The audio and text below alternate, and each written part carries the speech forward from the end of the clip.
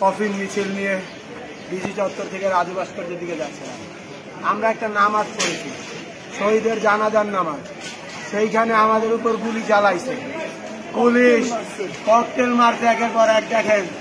আমাদের এইখানে হাজার হাজার ভাই, শত শত বোন, ককটেল আর রাবার বুলেট এবং টিয়ার ছেলে দিশা হবে আমারই হয়ে গেছে।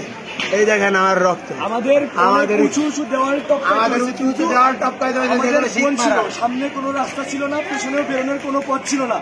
মাঝে আমাদের বোনে বোনেরা ছিল আমরা তাদেরকে না পারছি তাদেরকে ফেলে যাইতে না পারছি তাদেরকে নিয়ে যাইতে। বিভীষিকামা একটা অবস্থা। এই অবস্থায় প্রশাসন যারা বাহিনী আছে আমাদেরকে পেছনেও যাওয়ার সুযোগ দিচ্ছে না সামনেও যাওয়ার সুযোগ দুই দিক থেকে অনবরত শুধু হচ্ছে ককটেল নিক্ষেপ করছে রাবার গুলি নিক্ষেপ করছে। পিছন থেকে সামনে থেকে। অনেকেই ওই ই পার হয়ে আসতে গিয়ে অনেকে আহত হয়েছে কারও হাত ভাঙছে কারোর পা ভাঙছে। সবাই অনেকে ইনজুর অনেকে ইনজুর খুবই খারাপ অবস্থা। অনেকে সেন্সলেস হয়ে যাচ্ছে আমাদের মেয়েরা। আমাদের আমরা তাও একটা বড় দেয়াল টপকে যেখানে ভিতরে শিখছিল এখানের ভিতরে বাধা ছিল আমরা আসছি। কিন্তু আমাদের বোনরা আসতে পারে না, তারা মার খাচ্ছে, আমরা আমাদের বোনদের যতগুলো পাশে উদ্ধার করছি। অনেকে ওখানে ইনজয় সবাইকে বলতে চাই, আমাদের জীবন গেলে যাবে। আপনারা গোটা বাংলাদেশ, গোটা জাতির কাছে আমাদের একটাই বার্তা। আপনারা ঢাকা বিশ্ববিদ্যালয় সহ, বাংলাদেশের প্রতিটি বিশ্ববিদ্যালয়, প্রতিটি শিক্ষা প্রতিষ্ঠান সহ, গোটা বাংলাদেশকে রক্ষা করুন। সবাই রাজপথে নেমে আসুন।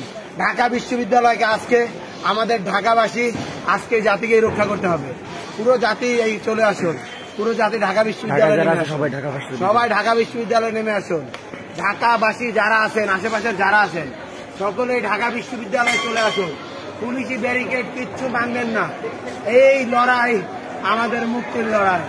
আমাদের বোনেদের আমাদের ভাইদের বারবার শহীদ করা হচ্ছে। সেই শহীদের জানাজা পরে আমরা যখন কফিন মিছিল দিচ্ছিলাম সেখানেও আমাদেরকে উপরে স্যান্ডউইচ করে ভিসি চত্বর এবং টিএসসি দুপাশ থেকে আমাদেরকে ককটেল মেরে রাবার বুলেট মেরে আমাদেরকে টিয়ারশেল মেরে আহত করা হচ্ছে। এখনও মারা হচ্ছে